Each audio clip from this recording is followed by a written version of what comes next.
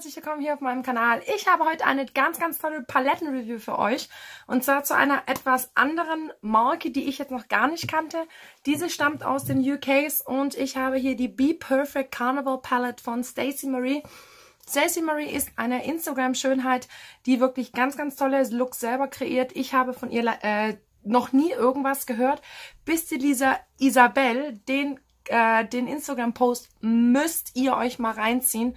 Sie macht die so krassesten, so verrücktesten Instagram-Bilder, die ich je in meinem Leben je gesehen habe. Ähm, das hier ist noch Kindergarten gegen das, was die Isabel drauf hat. Also wenn ihr denkt, ich bin schon richtig gut unterwegs, dann wartet, bis ihr Isabel-Account findet. Äh, geht da sehr gerne vorbei, lasst euch einen, äh, lasst einen Gruß von mir dort.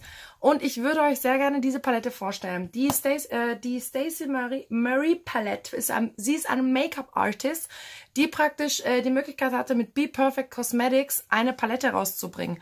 Und zwar, ähm, sie hat auf dem Instagram-Account, den ich natürlich nur durch die Isabel ähm, gesehen hatte, habe ich gesehen, dass sie sehr, sehr, sehr schöne Looks macht. Und man hat erstmal gar nicht gewusst, was ist das bitte, was hat die da für eine Palette rausgebracht. Und ähm, die Isabel und ich, wir schreiben halt regelmäßig, hi Schatz, ich, du bist schuld, dass das jetzt meine ist. Und ähm, ich habe jetzt für diese Palette, ich glaube, um die 51 Euro bezahlt, weil ähm, ich glaube, die hat gekostet 42, 43 Pfund und dann habt ihr noch 7,99 Pfund, glaube ich, äh, Versand bezahlt. Sie kam sehr sicher an in einem Karton, ein, also so mit so einem äh, Bubble Paper drumrum. Und das ist praktisch eine Palette mit, mit, äh, 5, mit 20, nee, stimmt gar nicht mit ähm, 24 Eyeshadows und zwei Highlightern, die wirklich sehr gut aussehen. Der ist ein bisschen subtle, aber ich glaube, wenn ihr den ein bisschen anfeuchtet, kommt ein bisschen raus. Ähm, ich würde euch sehr, sehr gerne ein paar Swatches zeigen von dieser Palette und äh, euch mal so ein bisschen, ich weiß nicht, ob euch solche Looks gefallen würden. Also das sieht ja sehr, sehr arg aus. Ich habe auch die krassesten Iconic Lashes rausgeholt. Die sind übrigens vom Primark. Und das sind die schönsten Lashes, die ich besitze. Und die haben die Schweine aus dem Sortiment genommen. Das ist jedes Mal dasselbe. Wenn ich äh, Lashes bei ähm, Primark sehr geil finde, sind die meistens super schnell ausverkauft. Shame on you.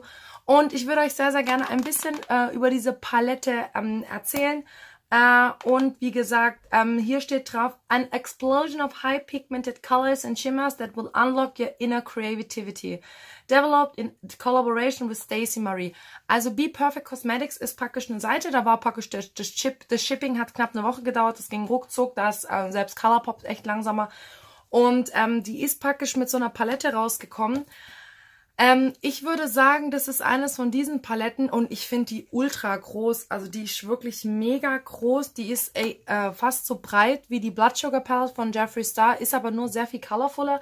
Ähm, es sind, äh, das ist alles matt. Das ist ein Duochrome. Ähm, das ist praktisch das, was ich jetzt im Inner Corner trage. Das ist dieses, das ist so ein Pink Shift, äh, Shift äh, Lidschatten.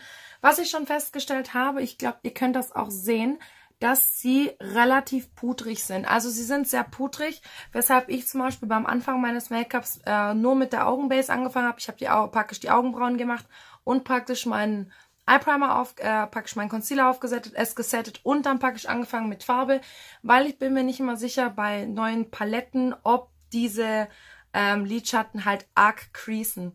Und ähm, ich zeige euch jetzt mal ein paar Shades ähm, auf meinem Finger, die ich so krass finde.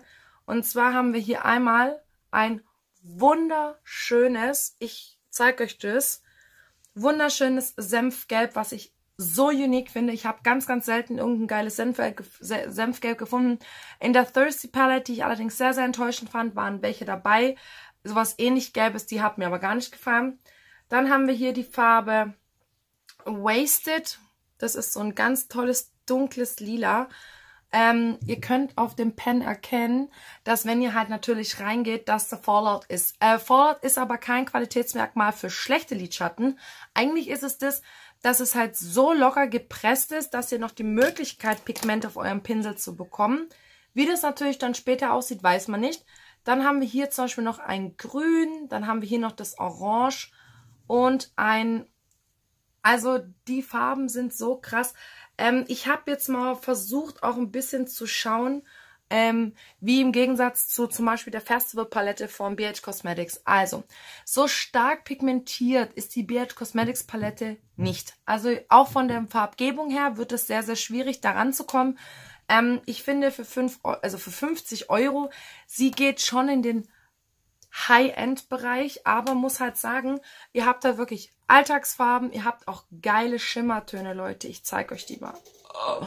Also die sind out of this world. Ich habe sowas noch nie gesehen bei einer Palette, die, sage ich mal, im normalen Spielraum von Urban Decay und so preislich liegt. Also richtig, richtig geil. BH Cosmetics hat schon, also ich vergleiche die damit, weil ich halt die Colorful Sachen halt meistens von BH Cosmetics beziehe.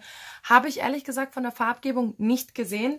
Ähm, sehr, sehr unique sind praktisch diese drei. Was ich auch sehr, sehr geil finde, ist diese Farbe. Also dieses Blau, Leute, ähm, ist, ähm, kann ich euch ein ähnliches Blau zeigen und zwar aus der Life is a Drag Palette.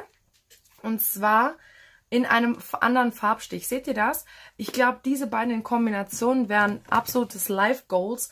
Ähm, ihr könnt halt auch sehen äh, auf meiner Handfläche, wie krass die pigmentiert sind. Ich bin auch nur ganz wenig in die Palette reingegangen.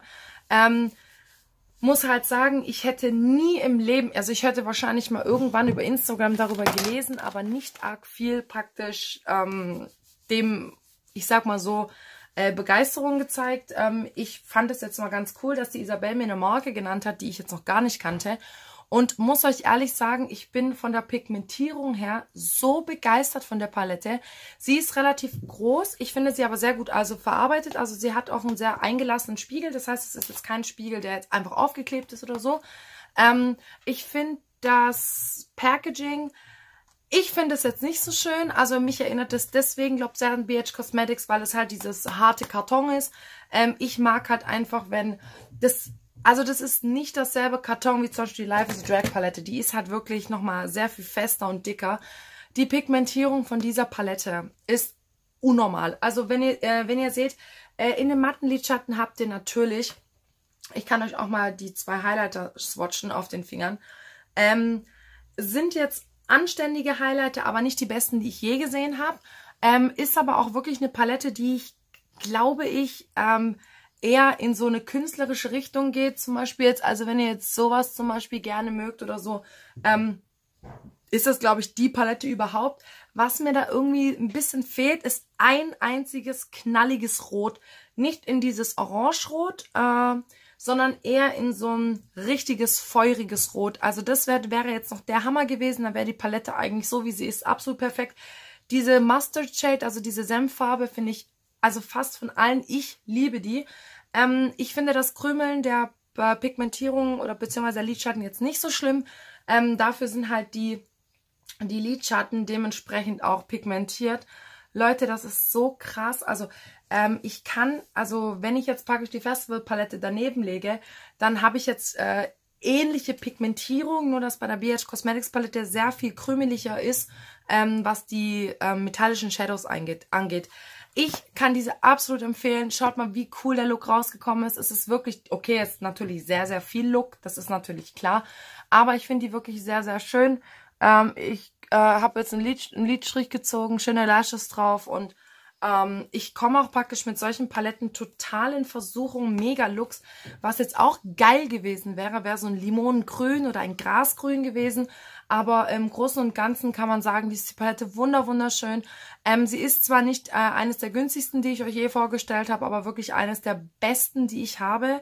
Ähm, ich finde die Blood Sugar Palette und die Luna Beauty und die Juvia's Place vergleichbar. Ähm, Juvia's Place ist halt für mich der Master der metallischen Eyeshadows, aber die kommen schon verdammt nah dran. Ihr bekommt wirklich, wenn ihr jetzt sonst wirklich, also ich habe zum Beispiel hier in der Lower Lash Line habe ich zum Beispiel das Blau eingearbeitet, dann leicht pink drunter. Ähm, ich konnte praktisch Looks kreieren, die ich sonst nicht mal im Traum dran gedacht hätte, dass ich sowas machen könnte. Und ähm, ich denke, dass sich diese Palette definitiv für euch lohnen würde. Ich hoffe, dass diese mini, mini kleine, schnelle Review für euch äh, Sinn gemacht hat. Ähm, ich habe relativ lang für diesen Look gebraucht, etwa eine halbe Stunde. Ich wollte euch jetzt nicht langweilen oder so. Ähm, ich kann euch sehr gerne hier und da mal noch ein Bild, also folgt mir gerne auf Instagram unter Jenny Bordells YouTube. Da könnt ihr praktisch auch die Videos und die Bilder dazu sehen, was für Looks ich da gemacht habe. Ich zeige euch das nochmal am Close-Up. Ich habe hier noch einen Glitterliner gezogen und zwar von Makeup Revolution gibt es gerade so Gel Glitter oder sowas und habe die jetzt mal getestet. Die sind übrigens ziemlich cool. Und ich hoffe, diese Review hat euch wahnsinnig Spaß gemacht, mir auf jeden Fall. Ähm, es ist einfach für mich leichter, euch die Palette zu zeigen mit einem fertigen Look, weil ich einfach so euch demonstrierterweise zeigen kann, wie diese auf dem Auge auch aussehen. Weil oft ist es so, wenn ich mich halt schminke und euch die Palette gleichzeitig vorstelle, dass das ehrlich gesagt eher in die Hose geht. Ich würde mich aber sehr freuen, wenn ihr mir in die Kommentare mal reinschreibt, ob ihr noch weitere Looks davon haben möchtet. Zum Beispiel auch mal einen Alltagslook oder so. Das würde ich sehr, sehr gerne für euch machen. Ihr wisst ja, ich bin eigentlich nicht der Lash-Typ, also aber heute musste ich auf diese auf jeden Fall Lashes draufziehen. Und wir sehen uns auf jeden Fall im nächsten Video wieder, meine Lieben. Lasst dem Video einen Daumen nach oben, abonniert sehr gerne meinen Kanal. Wir sehen uns auf jeden Fall bald, bald wieder.